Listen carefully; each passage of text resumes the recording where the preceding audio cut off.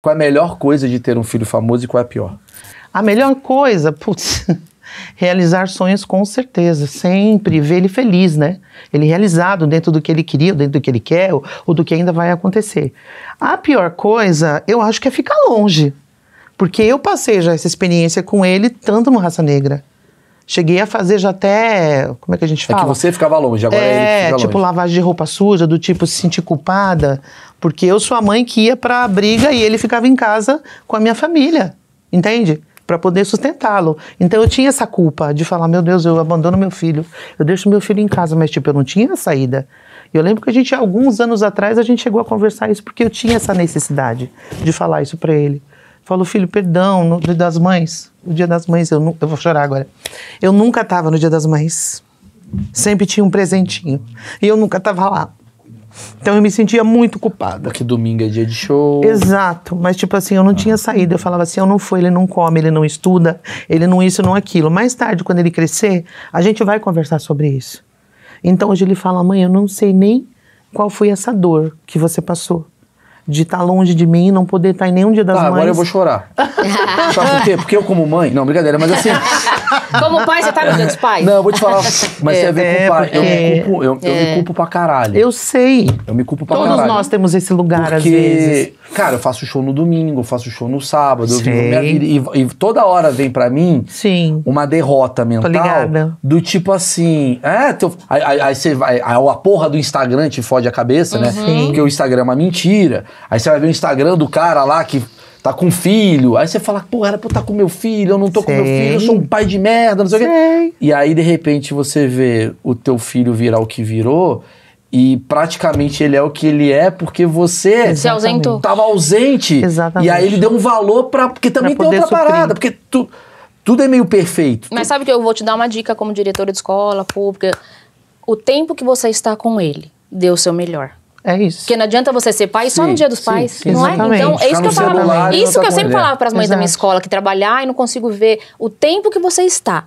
Uma hora por dia que você vê É. o seu filho, senta com ele, olha, toca, fala, papai te ama, como foi sua aula, vê o caderno de recado. Ou trocar o amor pelo que presente, quer- né, que a gente Ele sabe que precisa que saber que, faz você isso. quer fazer parte do mundo dele. Ele precisa saber que você faz parte do mundo, mesmo você não estando.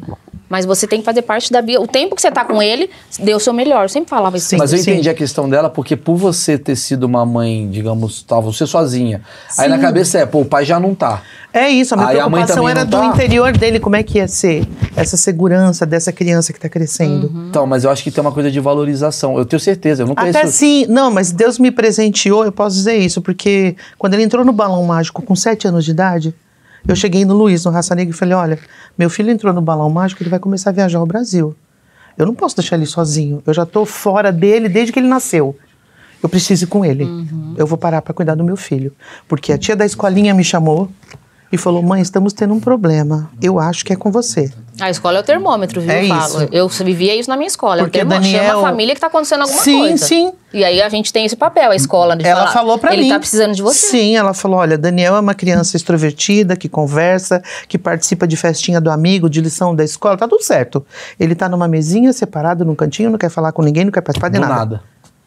Travou. Mudou, mudou. Travou. Mudou o comportamento. E um dia eu tô trocando ele. Minha mãe já tinha falecido, eu tava morando na casa do meu pai, já dois anos depois com a minha madrasta, em São Bernardo, com a mala pronta no canto para viajar com essa negra. Tipo, imagina isso na hora da escola dele, dele ir pra escola, o almoço, tudo acontecendo. Eu trocando ele na escada. E eu dizendo: Ah, o vô vai pegar o carro, ele vai te levar pra escola, a Má vai te dar almoço, e depois a Marcolina vai te buscar, porque eu tinha todo um. Uma estrutura, né? Você não estava, gente- mas você organizava. Uhum. Exato, para eu poder deixar para a vida dele se mover. E ele me olhando sério assim na escada. Quando eu terminei de falar, ele fez assim: Você tem que me dar banho, você tem que fazer minha comida, você tem que me levar para escola, você, você, você, você. E eu engoli seco naquele momento, já querendo despejar, de chorar. Uhum. Quando meu pai percebeu a cena e falou: Vem com o vô, vem comer que já tá na hora, não sei o quê. Mamãe já vai, daqui a pouco ela volta, que era sempre a mesma frase: Mamãe já vai, daqui a pouco ela volta. E eu Mamãe tem que trabalhar? Um final de semana, dois final de semana, um mês em Fortaleza. Entende?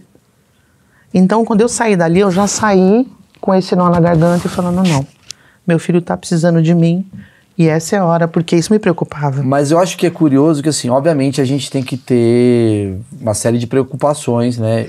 O o- a questão pra mim é: o problema é abandonar. Sim, não é o teu caso. concordo, não. Nem não. o seu, nem o meu tal. Mas tem uma coisa que é. ah, todos os lados que você vai, qualquer perspectiva que tenha, se você tem uma alma e tem um amor pelo negócio, a criança ela, ela vai ser correspondida de alguma maneira. Eu vou explicar. O fato de você estar ausente, mas amando e querendo estar próxima, fez ele valorizar talvez uma coisa absurda. Que Não é tenho o, nem dúvida. Sacou? Que é onde você está hoje. Não dúvida. quero dar uma de psicólogo, mas é basicamente isso. Não, a gente já, como eu te falei, já falamos disso, ele já se expressou e falou que é exatamente isso. Porra, Falou, por favor, mãe, nem vai pra esse lugar. Ele falou, nem sei o que você passou. Essa dor, ele falou, não consigo mensurar essa dor. Pois é, porque tá cheio você de tem mãe. que ir pra outra. Porque o normal é o quê? O papai trabalhar e a mamãe ficar em casa Pois cuidando é, pois é. dos E- filhinhos, E o papai entendeu? não tá e a mamãe que tá fazendo. Mas eu, Exatamente. por, que- por que eu parei nesse papo? Porque minha mãe é você. Minha Pai, mãe né? é a É mesma pai. coisa. Não, e minha mãe era a pessoa que trabalhava que nem um animal. Eu, minha- meu pai tava separado, morava em outro Sim. lugar, minha mãe cuidava de mim, e aquela parada e hoje a minha vida praticamente é, cara, eu faço tudo pela minha mãe. Então Tô tem. entendendo. Porque você vê o esforço da mãe. É lógico. Fala, Nós temos mãe- histórias parecidas, porque eu me Sim. separei do pai do Daniel, ele tinha dois anos. Ah, dois você anos. também- Sou separada também. E o outro filho tinha seis meses. Então, Você criou os dois sem. Então, somos separados, né? Ele dava a toda a estrutura, mas não é igual quando você mora junto, né? Não. Então, via de final de semana, né? Mas nós, sempre nós três, sempre nós três, tudo nós três. Então, o Daniel, né, se refere muito a mim, né? Tem o pai, mas nós crescemos só nós três. A estrutura Sim. é só, né? Então, então, provavelmente um a sua resposta é a mesma dela, do tipo, a pior coisa é essa coisa de, da separação ou não? Essa coisa de talão, é que você tá trabalhando com ele, Então, na realidade, quando eles eram pequenos, né? A gente põe embaixo. Como eu trabalhava em escola, eu saía às 7 horas da manhã, deixava eles numa escola, ficavam sempre integral. Também é legal falar isso para as mães, não tem problema nenhum seu filho ficar integral na Sim. escola.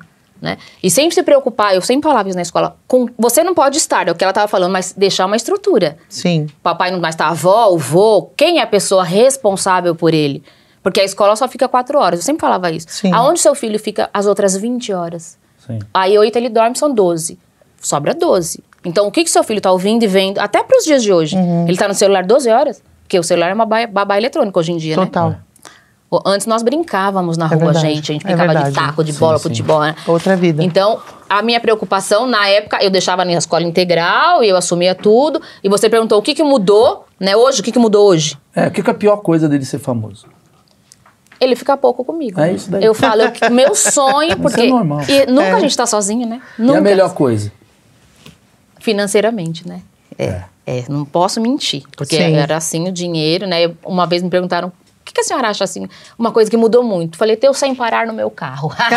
Maravilhoso. É muito bom. Gente! Mas eu tô puto com o Daniel, cara. Tô puto. Podia te dar a porra de um Audi, dá um sem parar. Não, deu sem parar, né? Pelo amor de Deus, 920. pô. Dá um Audi, cara. Ele me deu uma BMW blindada. Ah, então pronto. Ah, Paga a língua aí. uma Esse é o- Defender. Que é o que ela chama de sem parar. É. A BMW blindada. Porque ela não para mais. Mas vai reto. A arma vem ela fala, irmão, esse é meu sem parar. Então, isso são coisas que a gente tá brincando, encher o tanque. Eu nunca podia, enche o tanque. Tinha lá, ó, é só 100 reais, aonde a gente pode ir até 100 Nossa. reais.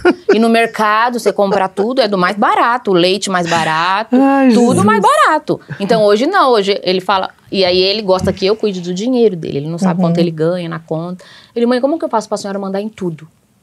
Aí eu falei, tem um rapaz do cartório que vem aqui em Que casa. faz uma procuração. Aí ele- o cara falou, o que, que o senhor quer? O que, que você quer que sua mãe mande? Ele, posso falar um palavrão? Na porra toda. Pode falar palavrão. Pode. Corta isso, que eu não posso.